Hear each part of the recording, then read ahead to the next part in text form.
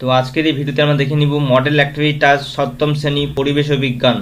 তো জানুয়ারি মাসে পরিবেশ ও বিজ্ঞান সপ্তম শ্রেণি, তোমরা যারা যারা মডেল অ্যাক্টিভিটি টাস্কগুলি কমপ্লিট করনি, তো আজকের এই ভিডিও দেখে তোমরা কমপ্লিট করে নাও তোমাদের মডেল অ্যাক্টিভিটি টাস্ক পরিবেশ ও বিজ্ঞান সপ্তম শ্রেণি। তো দেখো, তোমাদের ভিডিওটি শুরু করার তোমাদের একটি কথা বলব। তোমরা যদি আমার চ্যানেল নতুন হয়ে থাকো, চ্যানেলকে সাবস্ক্রাইব করে পাশে বেল আইকনটি ক্লিক করে দিবা। এরকম ভিডিও নোটিফিকেশন সবার আগে পাওয়ার জন্য। তো এর আগে আমি সপ্তম শ্রেণি বাংলা, পরিবেশ, ভূগোল এবং অন্যান্য সাবজেক্টগুলো বানিয়ে রেখেছি। তোমরা যদি না দেখে থাকো চ্যানেলে দেখো প্লে লিস্টের মধ্যে পেয়ে যাব তোমরা ভিডিওগুলি, ঠিক আছে? তো আজকে ভিডিওটি শুরু করা যাক। দেখো, তো দেখো, এক নম্বর প্রশ্নটি কী বলেছে? ঠিক উত্তর নির্বাচন করো। প্রত্যেকটি মান এক নম্বর করে, ঠিক আছে না? ফারেন হাইট স্কেলের ঊর্ধ্ব ও নিম্ন স্থিরাঙ্ক যথাক্রমে, তো কোনটি সঠিক উত্তর দেখো? ক বলছে একশো ডিগ্রি কমা জিরো ডিগ্রি। খ হচ্ছে দেখো জিরো ডিগ্রি কমা একশো ডিগ্রি গ হচ্ছে দুইশো বারো ডিগ্রি কমা দুইশো বত্রিশ ডিগ্রি ঘ বলছে বত্রিশ ডিগ্রি কমা দুইশো বারো ডিগ্রি তো এর মধ্যে সঠিক উত্তর কী হবে?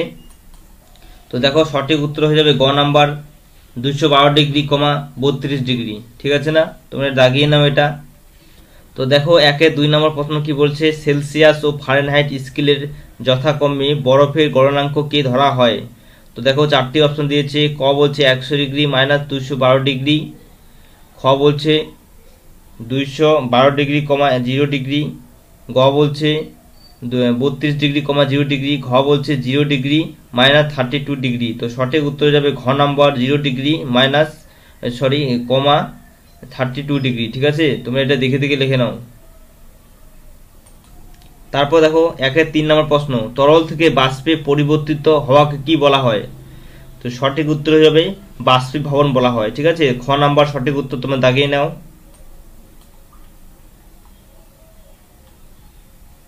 তারপর দেখো তারপর দেখো, একের চার নম্বর প্রশ্ন, জলের বাষ্পীভবনের লিন তাপ পাঁচশো চল্লিশ সেল গ্রাম কথার অর্থ হলো, তো সঠিক উত্তর হয়ে যাবে ক নম্বর, এক গ্রাম জল সম উষ্ণতার এক গ্রাম বাষ্পে পরিণত হতে হলে পরিবেশ থেকে পাঁচশো চল্লিশ সেল তাপ গ্রহণ করবে। ঠিক আছে? তোমরা এই উত্তর দেখে দেখে লিখে নাও। তারপর দেখো, দুই নম্বর। ঠিক বাক্যের পাশে রাইট আর ভুল বাক্যের পাশে কাটা চিহ্ন দাও। ঠিক আছে? তো দুইয়ের এক নম্বর প্রশ্ন কি বলেছে? দেখো তাপ কোনো বস্তু নয়, তাপ হলো শক্তি। এটা ঠিক, তোমার পাশে রাইট চিহ্ন দাও। সব উষ্ণতায় সেলসিয়াস ও ফারেনহাইট স্কেলের উষ্ণতা পৃথক হবে। তো এটা ভুল, তাই তোমরা পাশে কাটা চিহ্ন দাও। দেখো, তারপরে দুয়ে তিন নম্বর প্রশ্ন, এসআই পদ্ধতিতে তাপের একক হলো ক্যালোরি। তো এটা ভুল, তাই তোমরা পাশে কাটা চিহ্ন দাও। তারপর দেখো সেলসিয়াস ও ফারেনহাইট স্কেলের নিম্ন স্থিরাঙ্কের মান আলাদা হলেও তা একই ভৌত ঘটনার সাপেক্ষে ধরা হয়েছে। এটা সঠিক, তাই তোমরা রাইট চিহ্ন দাও। এবার আমরা দেখো বড় প্রশ্নগুলি, ঠিক আছে? তিন নম্বরের একটি বা দুটি বাক্যে উত্তর দাও। তো কি বলছে তিন নম্বর, তিনের এক নম্বর প্রশ্নটি? কোনো থার্মোমিটারের কুণ্ডে একটি ভিজে কাপড় জড়ালে থার্মোমিটারের পাট কমে যায় কেন? তো দেখে নিচ্ছি এই উত্তরটি আমরা। প্রত্যেকটি মান কিন্তু দেখো, দুই নম্বর করে। ঠিক আছে? তোমাকে বড় করে লিখতে হবে উত্তরটি। তো দেখে নাও উত্তরটি। কোনো থার্মোমিটারের কুণ্ডে একটি ভিজে কাপড় জড়ালে থার্মোমিটারের গায়ে উষ্ণতা কমে যায়। ফলে কুণ্ডের মধ্যে থাকা পারদের আয়তন কমে এবং থার্মোমিটারের পাট কমে যায়। ঠিক আছে?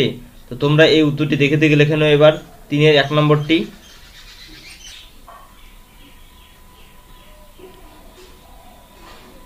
তারপর দেখো তিনের দুই নম্বর প্রশ্ন, গরমকালে মাটির কলসির জল ঠান্ডা থাকে কেন? ঠিক আছে? তো দেখে নিচ্ছি এই উত্তরটি আমরা।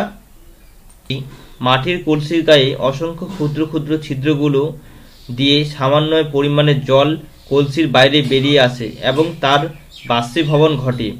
বাষ্পীভবনের জন্য প্রয়োজনীয় প্রয়োজনীয় লিন তাপ কলসি ও কলসির ভিতরে থাকে সংগৃহীত হয়।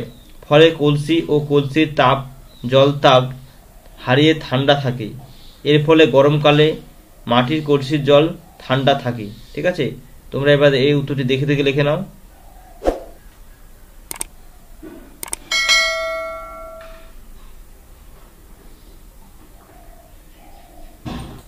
তারপর দেখো, তিনের তিন নাম প্রশ্নটা কি বলছে? মাটির চেয়ে জলের আপেক্ষিক তাপের মান বেশি।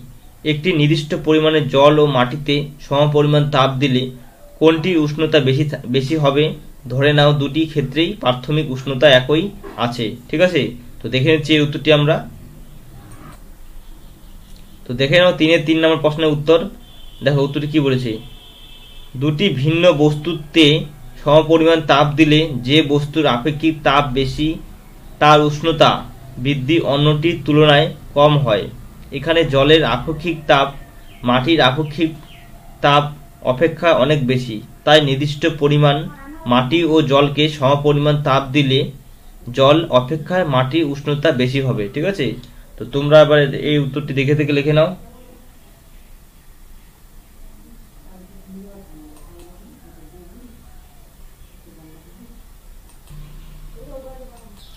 দেখো, চারের প্রশ্নগুলি কি বলেছে? তিন চারটি বাক্যে উত্তর দাও, ঠিক আছে? প্রত্যেকটি মান কিন্তু তিন নাম্বারে ঠিক আছে না?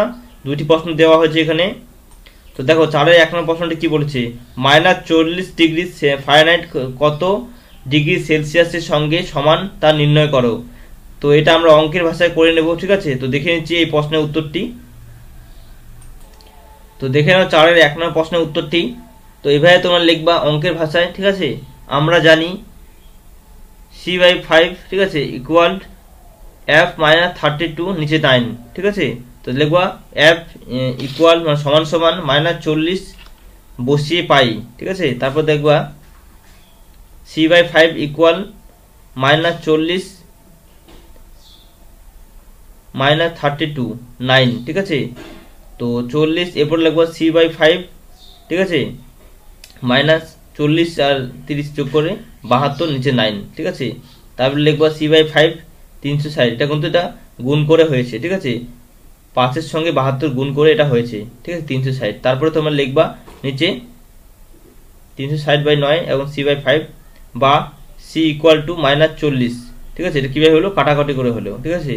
এটার সঙ্গে এটা কাটা করে দাও, যে তোমার এটাই হবে ঠিক আছে? চল্লিশ। তো তারপর লিখবা, সুতরাং মাইনাস চল্লিশ ডিগ্রি ফারেনহাইট তবে ইকুয়াল দিয়ে লিখবা মাইনাস চল্লিশ ডিগ্রি সেলসিয়াস ঠিক আছে? তো এইভাবে তোমরা অঙ্কের ভাষায় এটা করবা। বইও পেয়ে যাবে এটা, ঠিক আছে, এই উত্তরটি। তো তোমরা দেখে দেখে লিখে নেবে উত্তরটি, এটা। তারপর দেখো চারের দুই নম্বর প্রশ্ন কি বলেছে? উপযুক্ত উদাহরণ সহ ব্যাখ্যা করো, নিচের কথাটি কেন সবসময় ঠিক নয়? কোনো পদার্থের তাপ প্রয়োগ করলে সবসময় তার উষ্ণতার বৃদ্ধি পাবে, ঠিক আছে? তো দেখে নিচ্ছি এই উত্তরটি আমরা কি হবে। তো দেখে উত্তরটি তোমরা এটার। জিরো ডিগ্রি সেলসিয়াস উষ্ণতার এক টুকরো বরফের ঘরে উষ্ণতায় পঁচিশ ডিগ্রি সেলসিয়াস একটি গ্লাসে রেখে দিলে কিছুক্ষণ পর দেখা যাবে গ্লাস কিছু তাপ হারিয়েছে এবং সেই তাপ গ্রহণ করে বরফের গলে জলে পরিণত হয়েছে। গরমের সময় থার্মোমিটার দিয়ে উষ্ণতা পরিমাণ করলে দেখা যাবে বরফের উষ্ণতা জিরো ডিগ্রি সেলসিয়াস হয়েছে। অর্থাৎ বরফের গ্রহণ করার তাপ বরফের উষ্ণতায় কোনো পরিবর্তন ঘটায়নি, ঠিক আছে? সুতরাং এর থেকে প্রমাণিত হয় যে কোনো পদার্থের তাপ প্রয়োগ করলে সবসময় তার উষ্ণতা বৃদ্ধি পাবে। এই কথাটি সবসময় ঠিক নয়, ঠিক আছে? এটা তোমরা পেয়ে যাবে দশ নম্বর পেজের মধ্যে। তো এবার তোমরা দেখে নাও এই চার চার নম্বর প্রশ্নের উত্তরটি। চারে দুই নম্বর সরি চারে দুই নম্বর প্রশ্নের উত্তরটি। তো দেখে দেখে লিখে নাও তোমরা উত্তরটি এটা, ঠিক আছে? এবং তোমাদের আজকের ভিডিওটি ভালো লাগে, তোমরা অবশ্যই লাইক করবা, তোমার বন্ধুকেও শেয়ার করে দেবা। ঠিক আছে না? তো ভিডিওটি দেখার জন্য অনেক ধন্যবাদ। মিলবো একটি নতুন ভিডিওতে।